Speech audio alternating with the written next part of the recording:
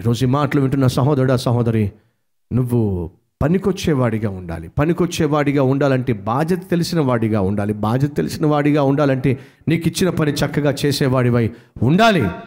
తమ్ముళ్ళు చెల్లెళ్ళు దేవుడు మిమ్మల్ని ఎన్నుకోవాలి అని ఆశపడుతున్నారా? అయితే కష్టపడడం నేర్చుకోండి. స్టూడెంట్వా కష్టపడి చదువు. ఉద్యోగివా కష్టపడి ఉద్యోగం చేయి. ఇల్లాలివా ఇంటి పని వంట పని నీ ఇంటి నీ పనులు కష్టపడి చేయి. వ్యాపారం చేస్తున్నావా? నీ కాంపిటేటర్ కంటే కష్టపడి వ్యాపారం చేయి. మరింతగా కష్టపడి చేయి. కష్టపడి పని చేసినప్పుడు దేవుడు తప్పనిసరిగా అతన్ని ఇష్టపడి మరీ ఆశీర్వదిస్తాడు. అందులో సందేహము లేదు. అలాగే ఉద్యోగం చేసే చోట నీ పై అధికారి సంతోషించే విధంగా నమ్మకంగా ఇచ్చిన పని చేయి. వ్యాపారంలో నువ్వు పాలు పంచుకుంటున్నావా? ఏదైనా వ్యాపారంలో నువ్వు పనిచేస్తున్నావా?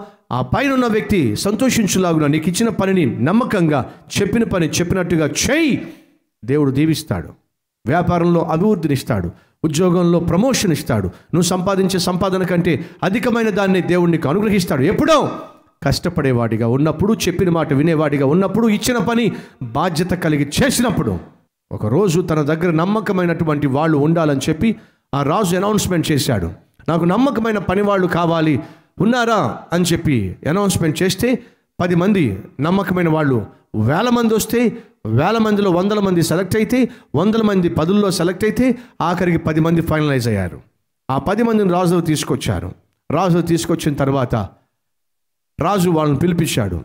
ఆ పది మందిని ఒక బావి దగ్గర తీసుకెళ్ళాడు. ఆ బావి దగ్గర తీసుకెళ్ళి ఒక మాట చెప్పాడు. పది మందికి పది బుట్టలు ఇచ్చాడు.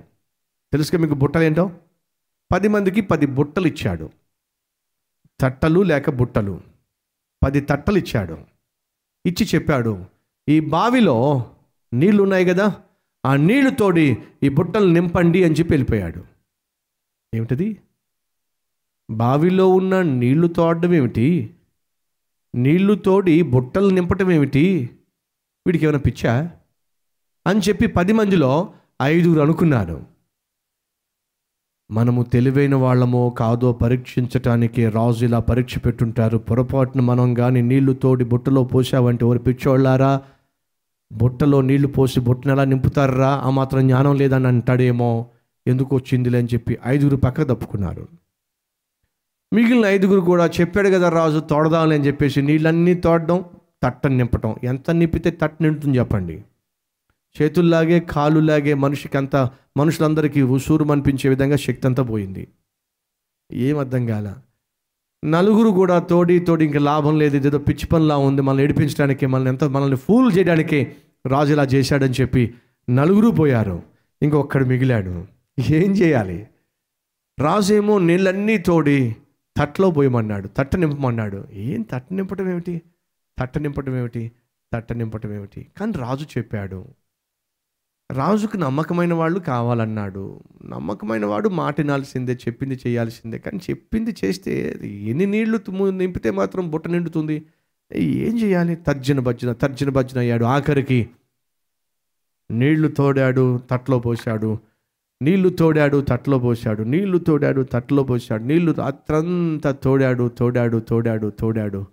ఆఖరికి నీళ్ళన్నీ కూడా తోడేశాడు.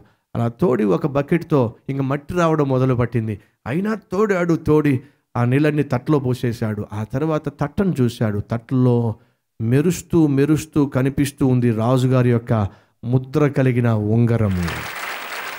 చూశాడు. ఏమిటి ఉంగరము? అని చెప్పనేసి ఇదంతా గమనిస్తున్న ఒక సైనికుడు దూరం నుంచి అబ్జర్వ్ చేస్తున్నాడు.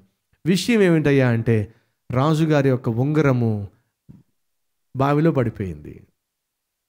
ఇప్పుడు ఆ పడిపోయిన ఆ ఉంగరాన్ని ఎవరు తీయగలరు? నమ్మకస్తుడే తీయగలడు. ఎలా తీయగలడు? తట్లో నీళ్ళు పోస్తేనే ఉంగరం బయటపడుద్ది.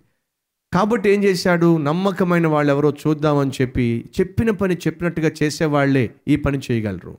తొమ్మిది మంది వెళ్ళిపోయారు కానీ దే- రాజు చెప్పాడు కాబట్టి చేయాల్సింది. తట్లో నీళ్ళు పోయటం ఏమిటి? తట్టను నీళ్ళు నింపటం ఏమిటి? ఆయన ఆయన చెప్పాడు కదా! మొత్తం నింపేసరికి అలా కష్టపడి చెప్పిన పని చేసేసరికి అది వృధాగా కనిపించింది. వేస్ట్ అనిపించింది ఫూలిష్నెస్ అనిపించింది కానీ రాజు చెప్పాడు కాబట్టి చేయాల్సిందే కదా. అలా చేసేసరికి ప్రతిఫలం వచ్చింది. ఆ బావిలో రాజుగారు ఉంగరం పడిపోయింది. ఆ ఉంగరం కాస్త వచ్చి తట్టలో మిగిలిపోయింది. నీళ్ళన్నీ పక్కకు పోయినాయి. ఈ విషయం కాస్త రాజుగారికి తెలిసింది. రాజుగారు దిగి వచ్చారు ఆ వ్యక్తిని మంత్రిగా ఏర్పరచుకున్నాడు. నమ్మకత్వానికి తగిన ఫలితము ఉంటుంది.